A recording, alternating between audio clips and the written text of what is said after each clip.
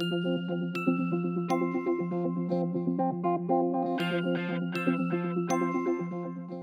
an emergency situation, you may need to act quickly, so it's important that you're familiar with your first aid kit to know what to use for different injuries.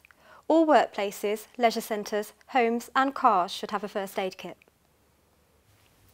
Plasters for small cuts and grazes. A wound dressing is a sterile pad attached to a bandage. They're for larger cuts to apply pressure and stop the bleeding. They're easy and quick to apply in an emergency.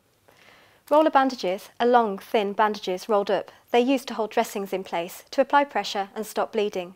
You can also use them to hold ice packs in place to reduce the swelling.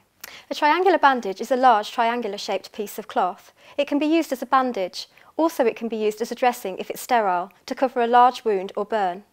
Disposable gloves reduce the risk of infection between you and the casualty. Always wear them if you have them when dressing a wound. Also use them when dealing with any bodily fluid or waste. Face shields or pocket masks can be used to reduce infection when giving rescue breaths. Alcohol-free cleansing wipes are used to clean the skin around the wound.